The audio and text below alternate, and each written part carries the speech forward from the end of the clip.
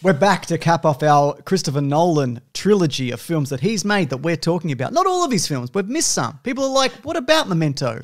What about it? It's more more than three. That's more than three movies. That's right. But this isn't about that. This is about three movies which he calls the Nolan Palooza. and what's momentous about this one as well, I think, it's the the center point of both the Nolan Palooza and the renaissance of great roles played by Matthew McConaughey, or as people in the know call, the Matthew Palooza.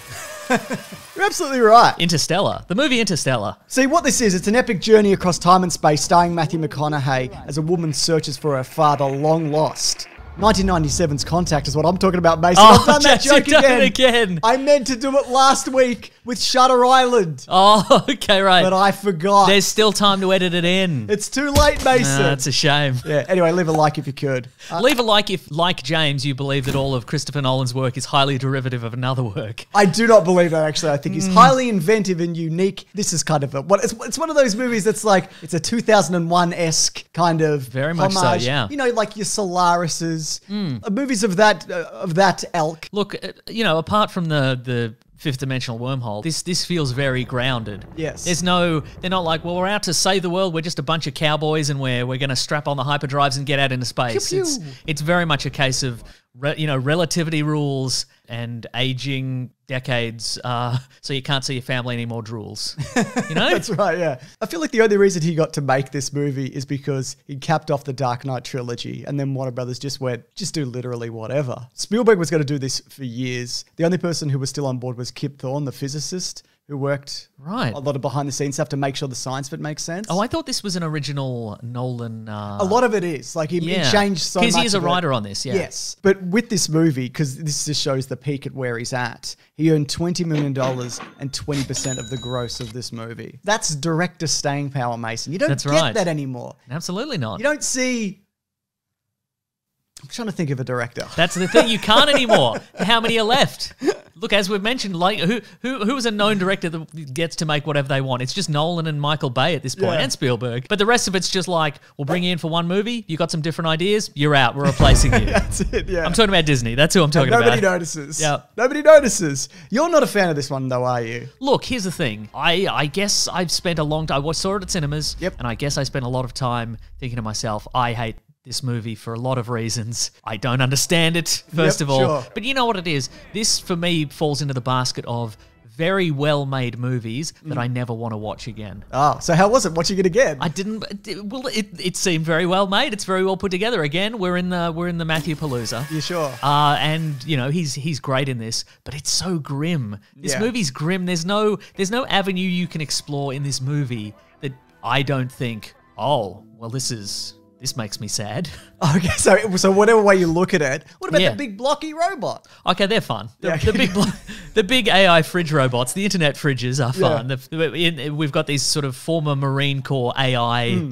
Robots, which I guess were designed for deadly strike missions or something in the past. Well, the idea was because everything is very well thought out why it exists in this universe. I, I deep dived into the Oh, behind the good. scenes stuff, as I do all the time, and I barely scratch the surface on any of it. But this I know because they wanted this world to already exist. There'd be no point in robots like this existing outside of I don't know the military used to use them, but Mm-hmm. you know in this world of dying corn and sad farmers and baseball, you can't even get a hot dog. By the way, I love the world building of this, like this dying planet. I think it's done. See, really I well. don't love it, and that's where we're going with it. You know, I don't love it. I'm not no, like, you yeah, love, I love you. it. You love the idea that billions of people died prior to the events of this movie. No, what you I'm- love that. I think it's well. You're like, oh, um, less of a line at the movies. Don't mind if I do. no, I thought I think the world is really well established. Hmm. I mean, you believe it, right? I don't mean like, wow, what a what a dream planet to live on. No. I just mean it makes sense. Well, wait, well, it makes sense. So should we should we just briefly touch on the Sure, plot? go. So it's uh, several decades in the future. it's like 2070 or something like that. It's something around there, and uh, it's 2067. We'll get emails.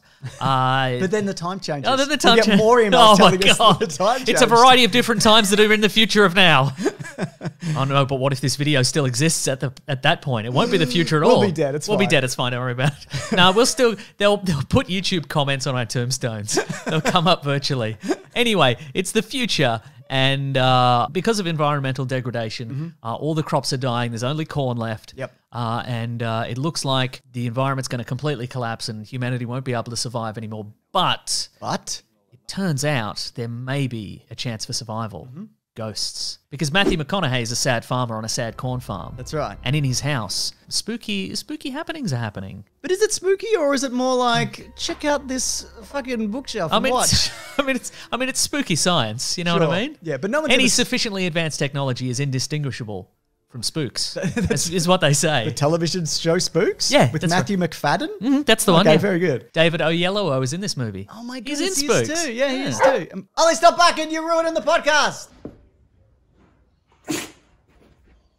But anyway, James, the spooks. Yeah. The spooks point him in the direction of a government facility. Yes. And that government facility is happy to see him because as a former NASA test pilot and engineer, Mm. he can join their secret NASA squad, which is going to head to a wormhole, which is going to potentially lead them to new habitable planets that maybe humanity can go to. Or uh, all of humanity can die and they'll just repopulate those planets with some uh, embryos and Yeah, stuff. which is cool too. Just scatter them all about. yeah, yeah, just it's like it's like fertilizing a garden. You're Yeah, just- throwing just spray of- out, Yeah, just yeah. Mm-hmm. see what happens. You know what I mean? Yeah. But getting back to Tars the robot, Yes. so much of this, including him, is practical. There's minimal use of green screen. All the stuff in space is done with front projections, so the actors can be like, "We're really in space. I could do my actual acting for Oh, once." Is that uh, a la The Mandalorian? No, it's a bit before that time. Those are big, like LED screens. They're probably not Ah, LED. see, right, just right. don't. Just don't. Just leave me alone. Just leave me alone. It's like what they used for um, Oblivion. The movie yeah, uh-huh, sure. I've got a video on it if people want to check out the kind of history of like front projection and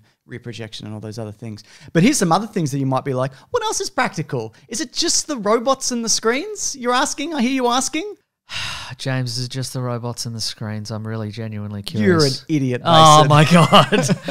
I was set up to fail there. First of all, uh, Tars is based off uh, Marvin from Hitchhiker's Guide to the Galaxy. Oh, that's why he's got he's a got jokes. he's got jokes, he's got a sarcasm uh, percentage. Yeah. Okay, so there's like a dude when they're walking who stands behind in like a green suit or whatever, Mm-hmm. maybe not. And so that's how it works. Like a lot of the time when they're walking around, they're really there. They did build CGI models for a lot of Mm-hmm. this stuff anyway, but all the unfolding, all of those things, often that's a real thing that's happening. Uh, the bookshelf Tesseract T. that they get lost in, or. Yes. Matthew McConaughey does, they built that for real. That's a real physical set. Oh, they built a real black hole. Yeah, they built a real black hole. don't Oh my don't God. get in it though. get away from it. Only Matthew McConaughey would be so bold. That's right. There is digital enhancement in that set, but a lot Uh-huh. of that is is real. Also, most of the spaceships are miniatures as well. Again, they doubled them with with CGI also. for right, right. But could have could have fully CGI'd him, chose not to. And I think that they, they look better as a result. I agree. And things like the water planet that they visit, that they're like, let's check out this horrible water planet. Mm-hmm, Sure. That's all real. That's a real kind of spaceship that they plonked there. They're So they built a real spaceship on a real water Right, planet. it is what really works. It really Oh, works. wow, they okay. went through the black hole. They came out. Incredible. that's where they did their filming. So yeah, it's it's real sets, real locations for the most part. Mm-hmm. But then there's things like they created a black hole, you know, using digital technologies. That explains it. That that is not real. But but they did learn a lot of things about black holes apparently in regards to because you've got to put in all the physics and the data and the math and all of those things. Mm-hmm. And so they're like, oh, that we learned some things about black holes. Don't ask me about specifics, but I know that they did because also when they finally got a picture of a black hole a few years ago, they're Yes. not dissimilar. Oh, interesting. Yeah. Kip Thorne, I mentioned him. Yes. He was on this film beforehand. So early in pre production, he laid down two guidelines that Christopher Nolan had to strictly follow. Okay. Nolan was at his whim, Mason. Oh my goodness. Yeah. And what are those two rules? Uh, Number one, no having sex with a black hole.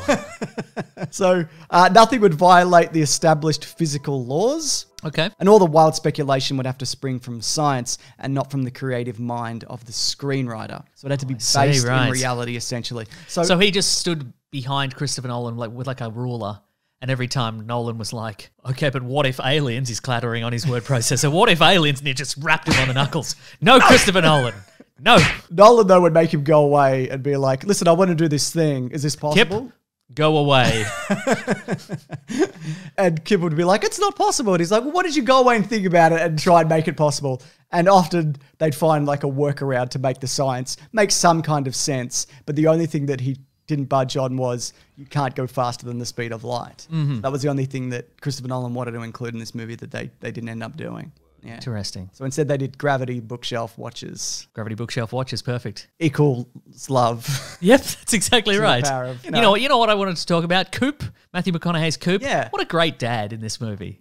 What do you say a- that? He's just a good dad. He's always there. He's he's. I he's thought you were being you're gonna you, you're gonna zig and then zag. And no, like, well, I'm no, being he genuine. for hundred years. I mean, he did that, but I mean, before abandoning his children for hundreds of years, he, you know, he backed his kids. He's like, "Oh, my kids want to go to college," and he's like, "You better, in, you better let them in college," kind of thing. Yeah. And, and you know, one of Murph is always fighting with the other students because she believes in the real history of the world and not weird moon landing conspiracies and stuff like that. And he's like, "You, it's good you fought those kids." You've just someone's going to be like, well, actually, the moon landing was technically it was faked. People don't often know that. Well, that's more engagement in the comments, so I, I, that's why I did that on and purpose. also, if you think that, we we believe that too, don't we, mate? we sure do. We're on your side. And if you don't believe it, well, you could take this as sarcasm, couldn't you? Mm-hmm. Yeah. Either way, buy our merch. What I also like about that relationship is it's never fully resolved. Like nobody really gets any proper closure. That it's absolutely heartbreaking to me as a father Mason Yes. when he leaves, and then when he gets that message, you know, thirty years on when they're the same age, and by the end of the movie, when they finally are reunited, she's got her own family and she's moved Yeah, mhm. well past him. She's dying, but she's like, I don't even really need you anymore. For him, it's like weeks. Yeah, her, yeah. it's X number of decades. Yeah, right. So you don't. Yeah, it's it's not. It's a, real metaphor. It's a real. Well, yeah, exactly. I mean, and again, it is a sort of a great metaphor for family and and and parents and children, and eventually the children grow to a point where maybe they feel they don't need their parents and Yeah. stuff like that. And I think that's a great metaphor. But again, it's so sad. so sad. Why why you make me feel so sad, Christopher Nolan? Also, when he goes to find Anne Hathaway at the end, we hope you've seen this because otherwise, just, what is this? Uh, how long has she been there for? Hmm. Is she dead by now? Well, that's true. I mean, it's it's harder to say with with Anne Hathaway because in you know It's harder to say with Anne Hathaway. but like obviously, you know, in a previous scene in the movie, you could tell that it's been decades. You know, having seen a, a one particular character because they've gone a bit bald and they're wearing a bathrobe now. I think he was mostly bald beforehand. I can tell he's he's got a couple more decades of being bald on him. Good, yeah, yeah. I don't think my anxiety in a movie Mm-hmm. has ever been higher than when they're down on that water planet. Again, for the one person who's still watching this despite having never seen the movie Interstellar, I bet there's more than just, one. Just you might be a little lost, but here's a way to make you feel even more lost: is uh, one planet exists in sort of a uh, black hole relativity well. So if you go Hmm. down to that planet, every hour you spend on the planet equals seven years. Yes. Uh, for the rest of the universe, effectively. So if you just want to have a bit of a splish splash, That's going to cost you some time. Yeah, you know, you- you're going to miss your kids. You're going to miss some some of your kids' birthdays. You That's know, right, yeah. I don't understand why when they flew down they weren't just like, this is all water, let's get the fuck out of here. I don't understand why they landed and looked for anything. Apparently also that wave that they see leaving is the wave that killed the previous person. Yeah, right. That's how far the time dilation is kind of stretched. Uh-huh. And you'll notice also there's a there's like a ticking clock sound in the background of this of this scene. Uh-huh. And every tick represents one day on Earth. Oh, so there's really? this sense of like foreboding the entire time. And then when they do get trapped there for at least a few hours, Hmm. it's just it's just like, what have you done? This is just devastating. absolute gooses. Yeah. What, what were they going to do down there anyway? Just set up a bunch of trestle tables to stand on, like. for Then the we're going to set up some inflatable flamingos and such, and just ha- hope that all of humanity's hope, you know, happy to just float around on them, drinking tropical drinks. Yeah. and you would be. Why do they keep getting tricked into going to bullshit planets? I don't know. Matt Damon's there ruining everyone's day. Thanks a bunch, Matt Damon. People are like, what if it's the same character from this character from the one where he went on Mars? What if you play different characters in different movies? What, Yep. I, I what if it's that? what if it's also Jason Bourne? what if he's he's got to smash your face with a with a pen? Tell you what. Do you think you age in those cryopods in this future? See, that's another aspect of it that I was just like, ugh. Just imagine being imagine being vacuum frozen like a piece of steak. Love it. I don't think I think you would a little bit, but uh, Yeah. So it's like when you do pull out a steak from the fridge that you've had in there for a couple of years. I mean, it's still edible, yeah, but uh, do you really want to? No. What do you think of the score? Because it's big organs all the time. Hans Zimmer uh, was asked by Christopher Nolan to just reinvent, do something new. Because I think after Inception, it was like Big organs all the time. Big, el- big. after Inception and the soundtrack to that, it kind of it soaked into the consciousness of the public. and Wah. ruined- Yeah, wah, and ruined everything. Mm, yeah. But I So feel it's a conscious step beyond Yes. that. Yes. so. But this, I feel, isn't as this hasn't been copied like at all. No, far as I absolutely can not. tell. It's it's meant to be more subtle. I mean, it, yeah, it's meant to be more subtle. I think. I like it. I also like it. If it. there's one thing I don't like in this movie, though, it's it's very long and slow docking sequences. I remember that at the time when I saw it. If I could take something out, it's like a ship spinning while another ship comes into. To That's click- to click. 2001, baby. Yeah, what That's is, an isn't it? homage, Yeah. one would assume. Yeah, there you go. Getting back to that that water planet, though, here's a fun fact about the water planet. I'm ready. Although Doyle is presumed drowned, remember the guy? From, Wes Bentley. Wes Bentley, weird beard guy from Yes. Hunger Games.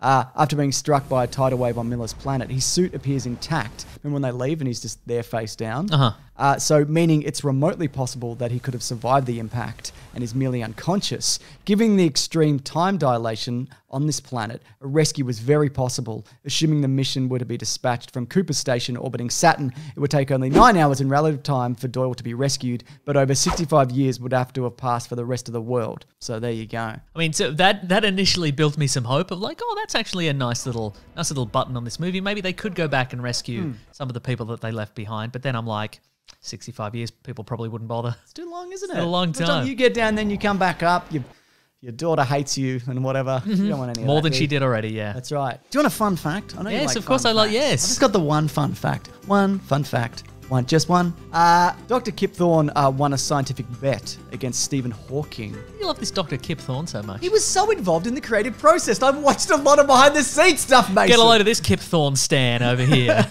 oh, you're, you're Kip Thorne standing so cringe, James. but go on. Kip Thorne won a scientific bet against Stephen Hawking using the astrophysics theory that underlies this movie. As a consequence, Hawking had to subscribe to Penthouse magazine for a year. Oh, he had to. If you know anything about Stephen Hawking's personal life, it wouldn't have been much of a stretch for No. him to subscribe to this magazine. I'm not. I'm not throwing shade. Do what you got to do, man. Right. Live your life. But Yeah. I, I, I don't think it was like, oh no, how embarrassing. Oh, yeah. So there you go. Did you know, Mason? One of the most popular videos on my channel is a video explaining this movie from years back. Really? Okay. People fucking hate it. You just said it was one of your most popular videos. Sometimes the things that you make that get the most traction aren't your best work. Let's just put it Interesting. All right. So I don't disagree with lot with a lot of that. When you when, when you say you explained the movie Interstellar, did you do that using research or did you just sort of wing it? I just kind of wang it. Wang it? Yeah, you wung it. And it's that kind of rigorous scientific research that led So, to whatever happened there. I think my mistake is also I should have answered it in question form to be like dot point. What's Okay, answer to this right. one? Anyway, Uh. it's neither here nor there. It's done. But what I'd love people to do is just go to that video, find a mean comment, and just reply. Actually, this is a really good video, just to make me feel better about this video. Absolutely. I'd sounds, really sounds really that, like a good fun thing to do. Anyway, I like it. Sure, they borrow that paper folding time thing from Event Horizon and other movies, but you know, it's exposition light for the most part. Would you say? That's yeah, that's true. I like it. I really like this movie. It's not my favorite of his movies, but I think it's uh, coming back to this. I think for me, it held up really well, and I like the tragedy of it. I like the sadness of it. I just like to sit in it and go, "Oh, boo! I feel bad." Right. Uh, does it affect you more now that you are, in fact, a father? I think so. Yeah, definitely. Look, it certainly affects me more in the sense that, you know, I did watch this and go, oh, you know, it's all going to be lost. All the content I've created over the last few years. Anyways, this has been Caravan of Garbage. This has been our Christopher Nolan trilogy. Can you believe we did every Christopher Nolan film? it's a Nolan Palooza, baby! We did it. It's how he would have wanted it. That's right. It's how you, the audience, want it. Uh, next week, with the arrival of Mulan, we're finally going to put out our Mulan video, which we recorded a million years ago. But if you do want to see that early, which I know a lot of people like to do, you can actually go to bigsandwich.co, sign up. It's only nine bucks a month. You get a bonus podcast. You get early podcasts. You get early videos. We do a comic book club, don't we? That we absolutely do. We, get, we talk, talk in depth about some comic books. That's right. And of course, audio commentaries for movies. It's kind of like a Patreon tier, but also that we control. So Patreon doesn't take a big chunk of our money. We have a Patreon, but get out of here, Patreon. We're sick of your business. and We don't want it. Except we need that too, also, obviously. Uh, if you've got a suggestion for Caravan of Garbage, leave it below. I'm at Mr. Sunday Movies on Twitter. I'm at Wikipedia Brown on Twitter. All right, guys. See you next week. Grab that gem, you guys. We'll see you very soon. Goodbye.